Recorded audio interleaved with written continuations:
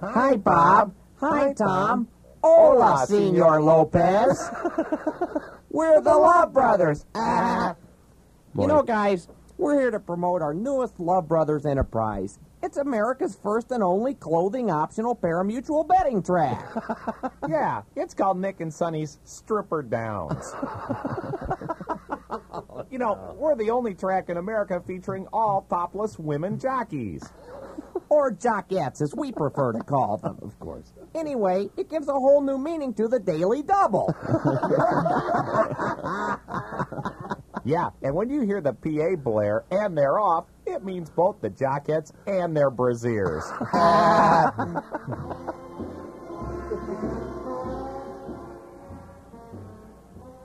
You know, at Stripper Downs, guys, you know your jockette will show. The question is whether she'll win or place. and you know something, Bob and Tom?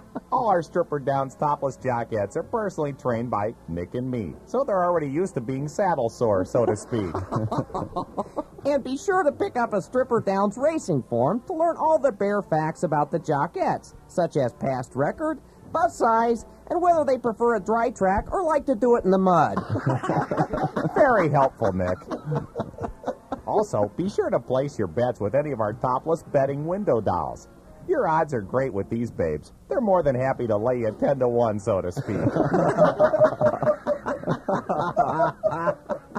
and if you're really lucky, you could win the Stripper Downs Perfecta Trifecta. yeah, that's you and two topless attendants of your choice. what a parlay, so to speak. Then comes that magic moment when our topless trumpeter blows the familiar call to the post. And remember, fellas, be sure to sign up for our You Could Be the Bugle contest.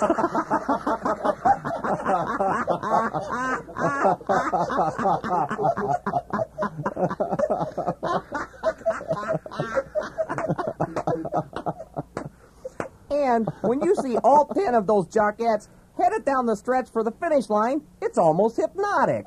Yeah, it's sort of like a possum staring into a sea of headlights.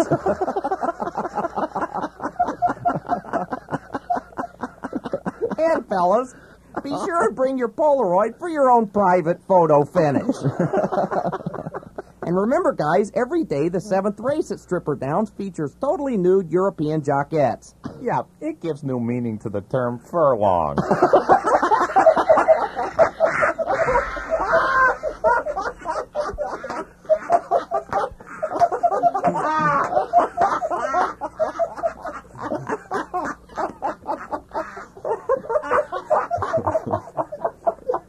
know, it's interesting. That's us- that's usually a close race, usually decided by a hair, so to speak.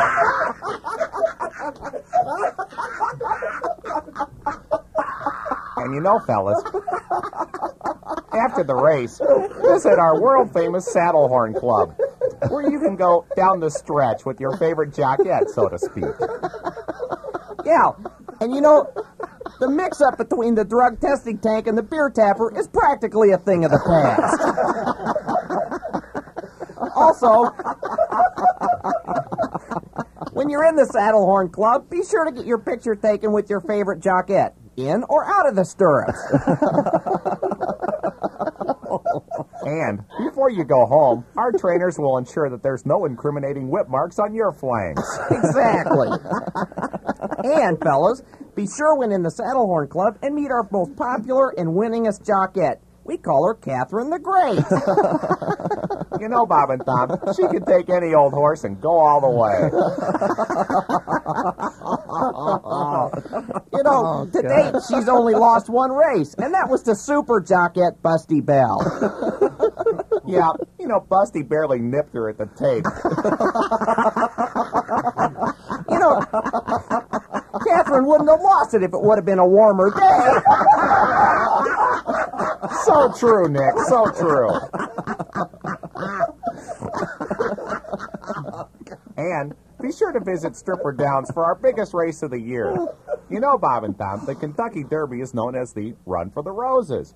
Tell them what our race is called, Nick. It's called the sprint for the tulips. it's somewhat self-explanatory. so Anyway, that's Nick and Sonny's Stripper Downs, formerly known as the Indiana State Fairgrounds. Yeah. You know, we gave the fair board a kickback on the midway rides, and they looked the other way. Well, fellas, why can we bring you such great wholesome entertainment? One reason. Because we're the Love Brothers. Ah.